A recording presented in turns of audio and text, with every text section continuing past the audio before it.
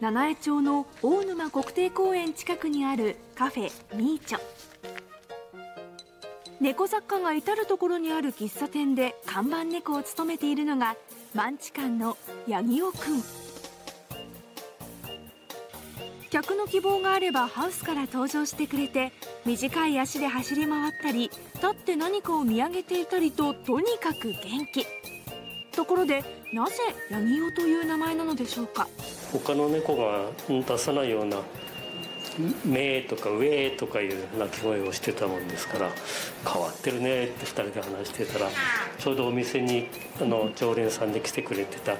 ピアノの先生が「じゃあ名前はヤギくんだね」とか「ヤギオくんだね」って言ってくれたので面白いからそれも名前にしようってことに。というわけでヤギオくんの鳴き声をお聞きください。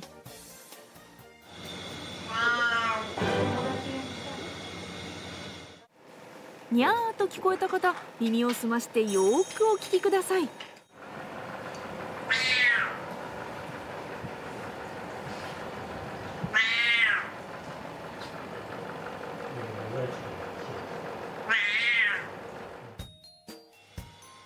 ヤギオくんの気分次第ですが時々にゃーを忘れて珍しい鳴き声を響かせているそうです。この10年間一緒に店をやってきたという本当に仲間のような、えー、存在です。特に猫カフェと歌ってるわけではないんですけれどもヤギオファンの方が常連さんになってくれたりとかヤギオがいるおかげでやっぱり店は続いてるんだなっていうふうにも思います。